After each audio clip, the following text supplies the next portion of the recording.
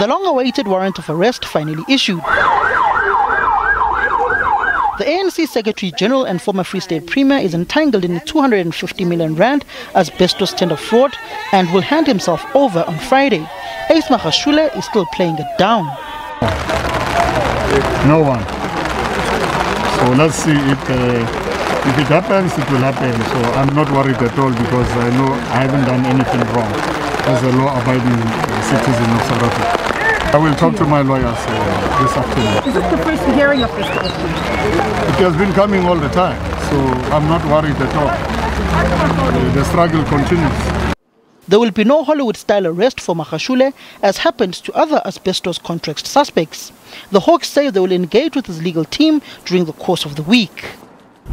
connection with the asbestos matter that was investigated by the Hawks Serious Corruption Investigation Unit in the Free State When will he appear in court? on Friday.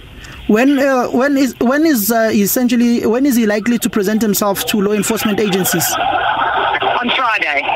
We've organised with his lawyers and they will, we will have him in court on Friday. The wheels of justice are turning. Those who may have thought the politically high and mighty are untouchable when it comes to law enforcement agencies may have to rethink their stance.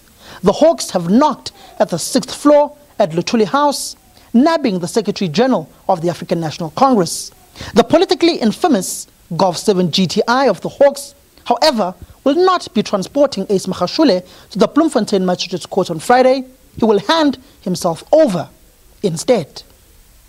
Samke Lemasego, SABC News, Johannesburg.